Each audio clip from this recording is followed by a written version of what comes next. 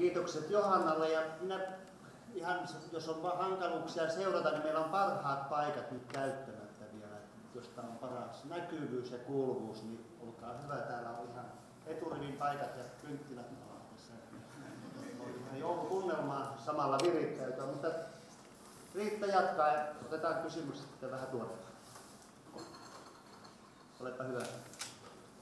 Joo, tätä, näitä tilaisuuksia varten me valmisteltiin kolme rakennemallia.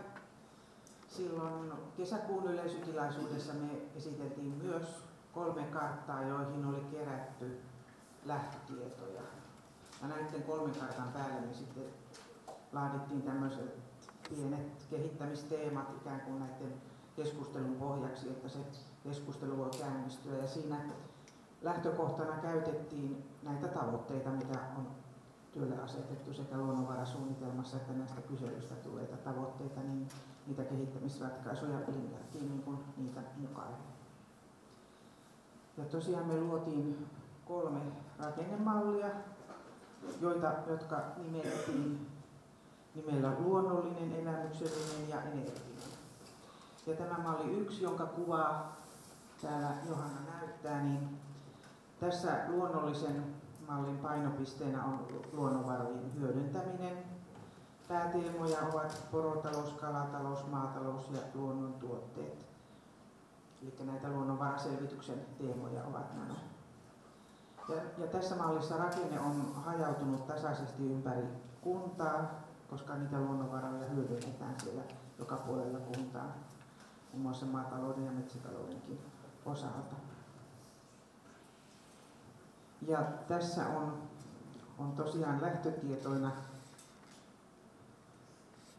lähtötietoina on, on kerätty niin hyödynnetty pohjakartan tietoja, eli olemassa oleva asutus näkyy noilla punaisina pisteinä tuolla pohjakartalla järvien vesistöjen rannoilla erityisesti.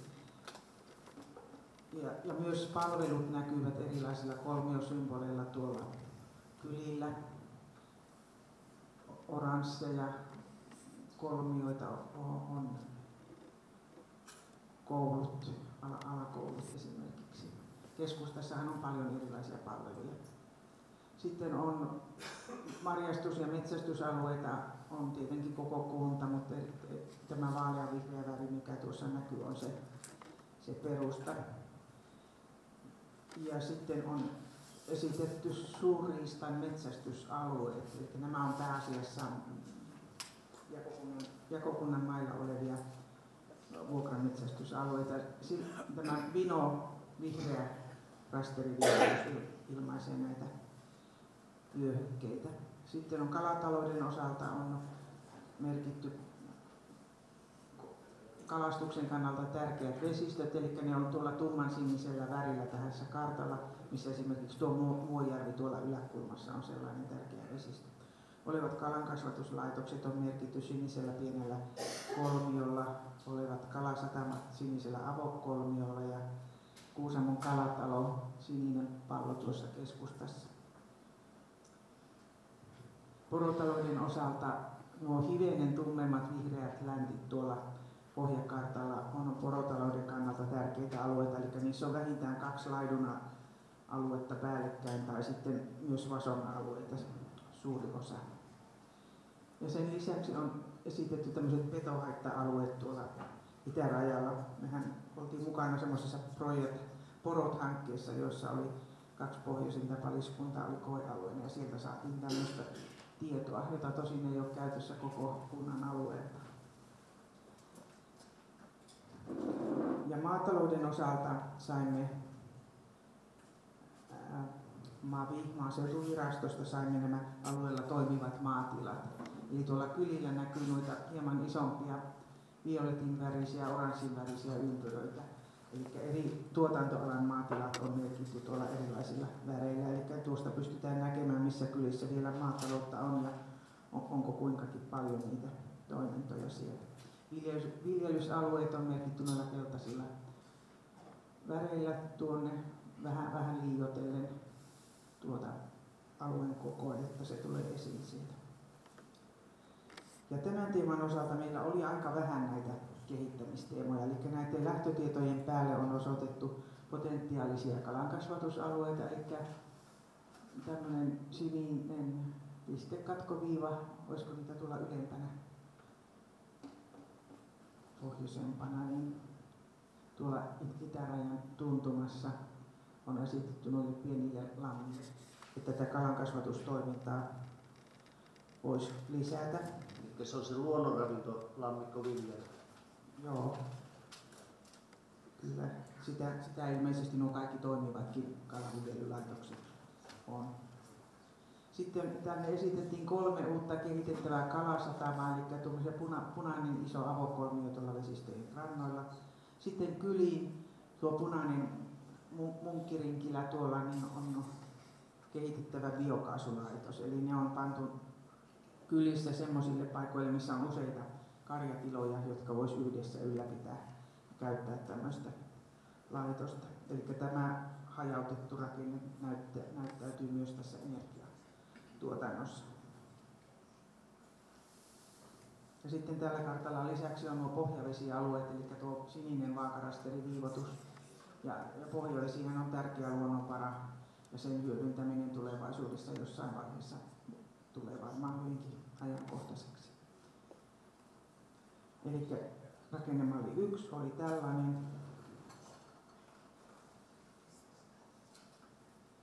Rakennemalli 2 eli elämyksellinen. Tämän pääteema on kehittää matkailua. Teemat on loma-asutus, matkailupalvelut, virkistyspalvelut ja reitit sekä ympäristön vetovoima-alueet. Ja tässä on lähtötietona esitetty viisi erilaista matkailuvyöhykettä kehitettäväksi, jotka pohjautuu kunkin alueen luontaisiin lähtökohtiin ja jokaisella näillä alueilla on oma, omanlaisensa toimintaprofiili.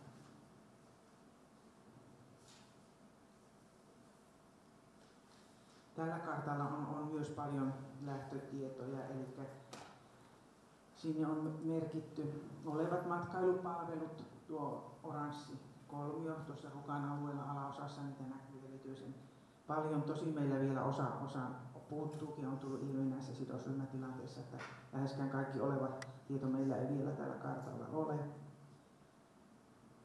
Sitten on osoitettu nämä olemassa olevat reitit noilla erityyppisillä viivamerkinnöillä. Tuolla tuo niittiviiva esimerkiksi on moottorikelkkareitti.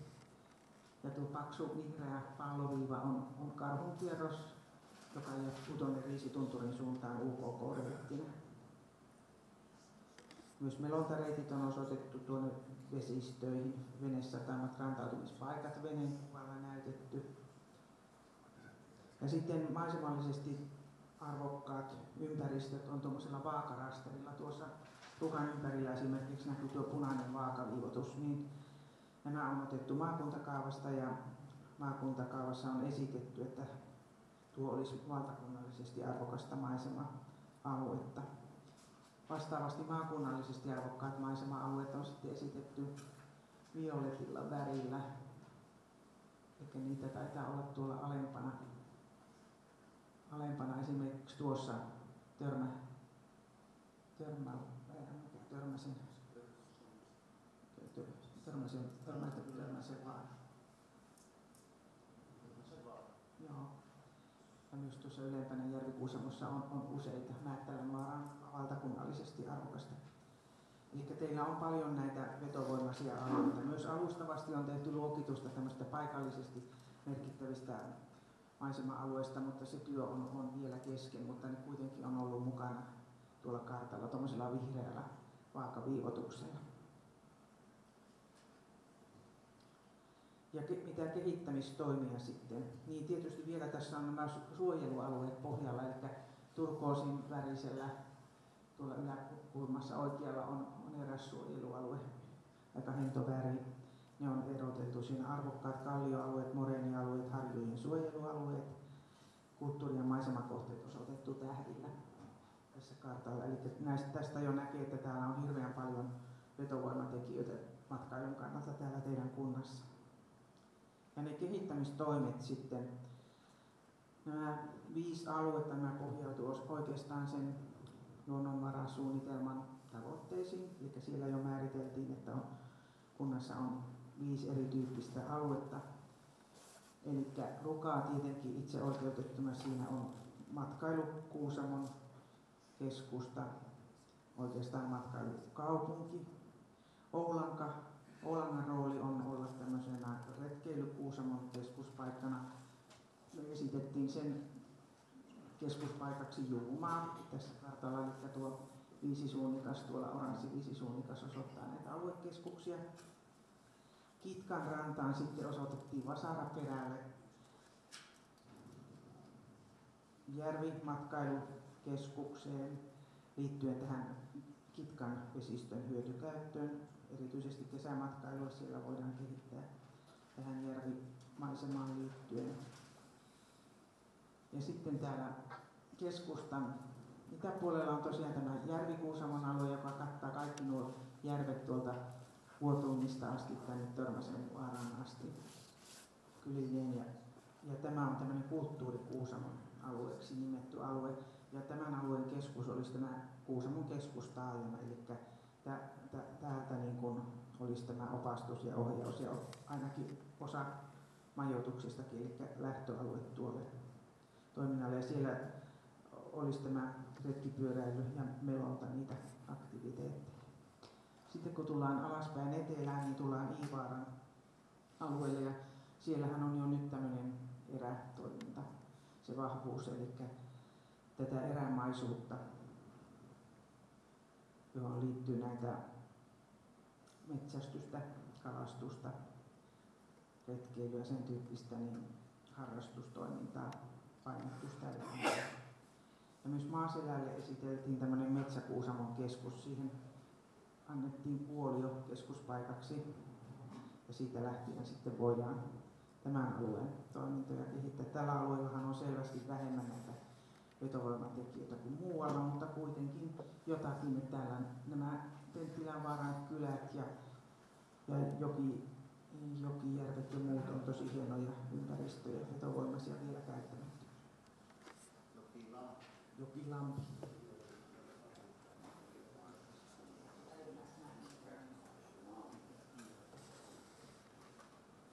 Ja sitten on osoitettu matkailun vetovoima-alueet. Nämä on otettu suoraan maakuntakaavasta. Eli tuolla pohjoisosassa on iso leveä vyöhyke, joka on täältä, täältä Rukaan eteläpuolelta tuommoinen paksu vihreä viiva ja pohjoisessa menee melkein tuota Kitkan yläpuolelta. Eli se on jo maakuntakaavassa matkailun vetovoima-alueeksi. Eteläosalla vastaava on siellä Julma Hölkkyhossa kylmäluoma, eli menee jo naapurikuntien puolelle. Ja sitten tämmöisiä luonnon monikäyttöalueita on osoitettu tänne Ivaran eteläpuolelle, missä on näitä suojeltuja vanhoja metsiä ja suoalueita, eli täällä oikealla, oikealla reunalla on, se, on sen tyyppistä vetovoima-aluetta. Sitten on osoitettu näitä pyöräilyreittien kevyen liikenteen kehittämistarvetta, eli tietenkin tuo Ruka Kuusamon väliin pyörätien kehittämistarve. Mutta sitten tänne Järvi Kuusamon, eli tälle kulttuurimatkailualueelle nyt on osoitettu melkein kaikki nuo tiet, varsinkin nuo pienemmät tiet on osoitettu tämmöiseksi kehitettäväksi retkipyöräilyreiteiksi. Eli olevaa tiestöä käytetään siinä hyväksi. Opastusta, opastusta vain tarvitaan. Sitten on osoitettu nämä kehitettävät lentokenttätoiminnat ja reittiyhteystarpeet, eli tämmöinen paksu vihreä katkoviiva, olisiko tuolla ylhäällä, niin näyttää niitä uusia yhteystarpeita, eli tuolla pohjoisosalla esimerkiksi tuonne Sallan suuntaan on yhteystarvetta ja täällä itärajalla Paanajärven suuntaan, länsirajalla Kitkalla Riisitunturin suuntaan ja niin edespäin. Ja paikallisia reittiyhteystarpeita sitten on osoitettu aika paljon, eli se on semmoinen kapea katkoviiva tällä alueella. Alempana esimerkiksi tuolla, tuolla Naatikkavaaran suunnassa niitä oli ja, ja erityisesti nyt täällä Iivaarasta, Iivaaran ja Rängänvaaran alueelle on osoitettu katkoviivoilla näitä reitistöjä. Tosin ei tässä nyt osoitin näin, pitäisi vähän tarkita. Joo, meillä on näistä kaikista teemoista kartat tuolla, joiden täällä sitten työskennellään, niin sieltä näkee sitten näitä tarkemmin. Kriittisiä asioita kehitysteemoja on esitetty tässä matkailuteemassa. Ja sitten tämä viimeinen, viimeinen teemakartta, rakennemalli, energia. Tässä painopiste on kehittää energiatuotantoa ja jalostuselinkeinoja. Teemoja ovat bioenergia, tuulivoima, puunjalostus, elintarviketeollisuus, kaivostoiminta, liikenne, kauppa, turvetuotanto, tuulivoima, alueet. Ja tämä malli on keskittävä, eli vastapainona sille ensimmäiselle hajautetellu, niin tässä suuri osa näistä toiminnoista on keskitetty tähän taajaman ympäristöön.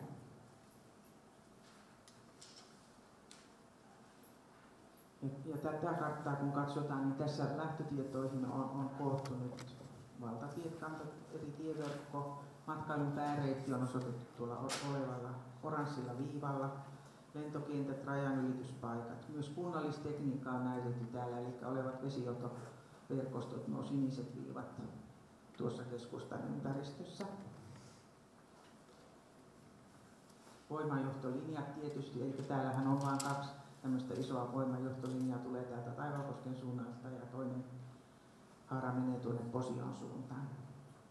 Turvetuotantoalueet on osoitettu maakuntakaavasta otettu tuonne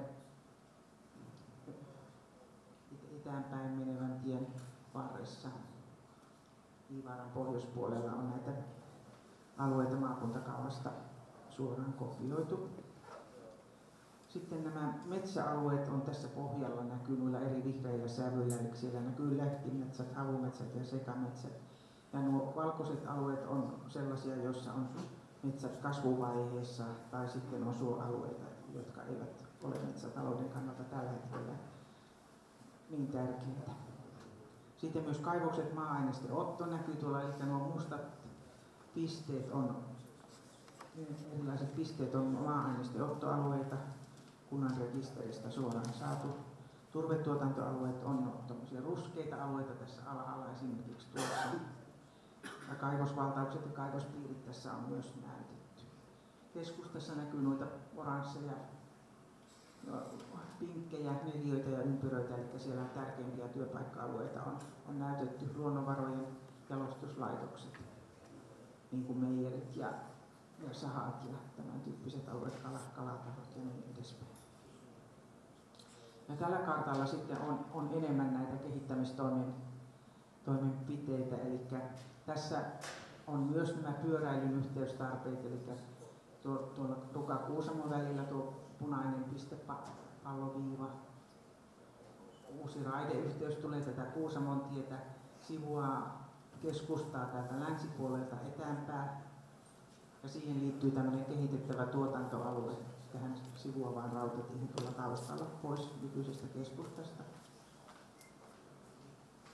Lentoliikenteen alue näkyy tuossa nykyisen lentokentän kohdalla. Tuulivoima-alueet näkyy merkinnällä tuolla TV, oranssi. Tuommoinen, jossa on vaasa viivotus on maakunnallisesti merkittävä. Esimerkiksi tuossa Posion rajalla ylhäällä on maakunnallisesti merkittävä. Ja nämä muut on paikallisesti potentiaalisia, jossa ei ole tuota rasteria.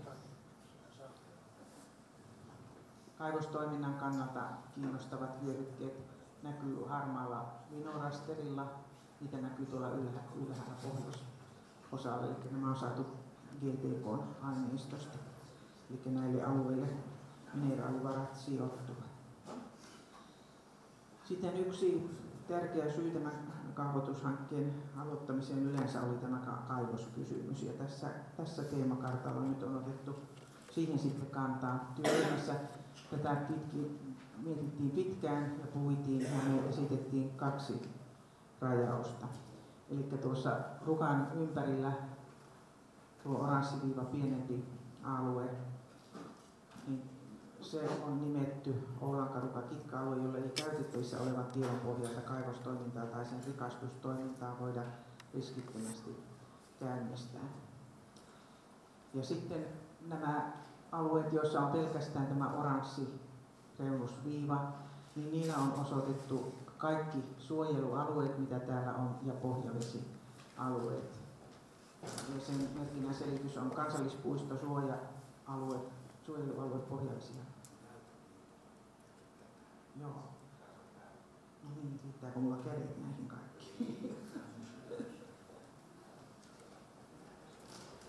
Alueelle ei voi perustaa kaivoksia tai harjoittaa maa-ainesten ottoa, on näiden alueiden määräys. Eli tämän tyyppiset alueet. Tässä nyt esimerkiksi pohjavesialueet on, on näitä kapeita.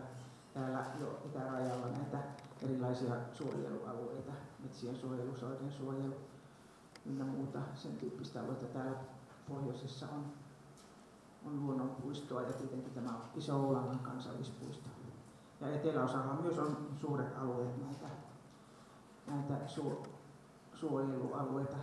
Täällä on useita vanhoja metsien suojelualueita, joilla tämä kaivostoiminta ei ole mahdollista. Ja, ja niin kuin näkyy, täällä on tämä kaivostoiminnan potentiaalinen vyöhykeminen tässä, tämä hentoharmaa viivoitus, eli aika lailla ne näyttää sattuvan just näiden suojelualueiden kohdalle täälläkin. Tosin nämä kaivosvaraukset sitten ovat sen ulkopuolella täällä, että ilmeisesti niitä malmeja on muuallakin kuin tuossa kartassa, joka on GTK otettu. Eli tämän tyyppisten asioiden pohjalta lähdettiin keskustelemaan sidosryhmien kanssa Kuusamon kehittämisestä.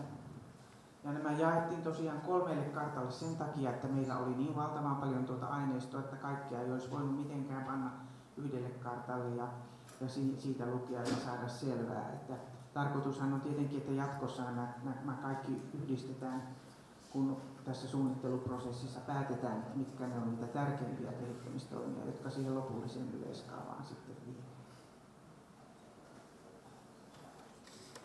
No niin, kiitokset Riitta Yrjän Heikille tästä, tästä esittelystä. Paljon tavaraa siellä on tuolla meidän noilla, noilla karttalehdissä. Sen, sen voi vaan tästä todeta, että ainakin itse vähän värisokeana niin ei pysy ihan kaikissa, kaikissa mukana.